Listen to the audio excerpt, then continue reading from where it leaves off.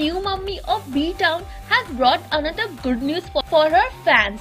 The actress is all set to make a comeback to Bollywood.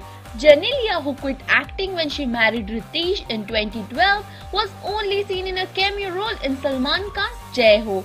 But at a recent event that Genelia attended, she broke the news of her comeback. Yeah, I was on a break. I would love to be back. I would love to do uh, something that makes me happy, that makes people happy, and uh, let's see. I'm ready now to uh, come and you know uh, enjoy my whole acting and. Uh, my ads and everything. So let's see how it goes. So, are you guys excited to see Genelia making a comeback to Bollywood? Comment and tell us.